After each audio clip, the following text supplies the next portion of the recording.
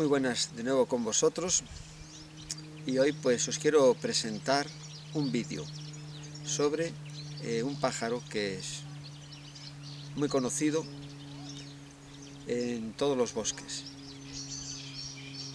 Ahora estamos oyendo su canto, es el mirlo. En todos los jardines, en la ciudad, está por todos lados. Yo creo que son los pájaros que más hay, que más eh, hay y más se adapta tanto en la ciudad como en el campo. En los ríos lo vemos siempre por la ribera del río, en las partes bajas del río. Y estos pájaros pues son de color negro, los machos es un color más brillante, el de las hembras es color pardo y así cosas que nos destacan. Ahora estamos escuchando un pico real. Eh, cosas que nos destacan de este pájaro es la orla naranja que tiene alrededor de su ojo, y el pico naranja.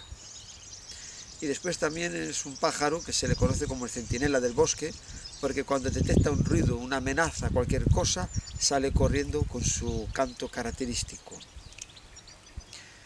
Este pájaro también eh, lo hay con el plumaje blanco.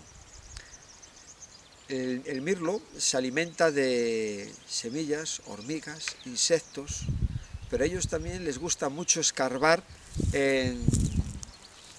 cerca de las raíces de los árboles. Ahí les gusta buscar cuando llega el otoño y caen las hojas, entre las hojas.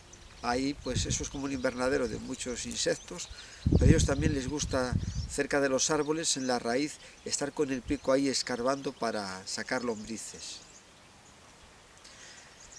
Este pájaro, que es tan emblemático y tan conocido por todas las personas, en el siguiente vídeo que os voy a mostrar vamos a ver ¿no? cómo él escarba con su pico en busca de insectos o lombrices.